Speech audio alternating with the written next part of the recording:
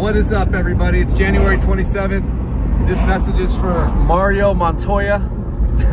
Dude, Mario just sent me $20 on Venmo. Um, he had an issue that his front door up here on his vacation house was saying that it it wasn't locked or it was ajar or something like that and he was gonna have to drive all the way up from the LA area and I told him I'd be happy to go check on it and he doesn't have to send me anything but he sent me something anyway Mario I appreciate that bro I appreciate you very much um, cool place by the way um, dude I, am I'm, I'm really glad that I was able to help you out like that and have your mind rest a bit you know I tugged on the door and everything it's totally locked up and good to go. I appreciate you again.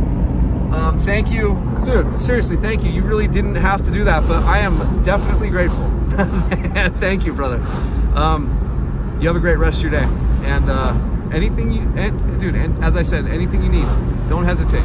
If I can help you make you feel just comfortable with issues like this, dude, you guys have saved my life. I exist because of you guys. So this is nothing for me to, it's a small town. There's, there's no such thing as going out of my way for you guys, okay? So don't ever hesitate. I'm always here for you. So it, it was a real pleasure.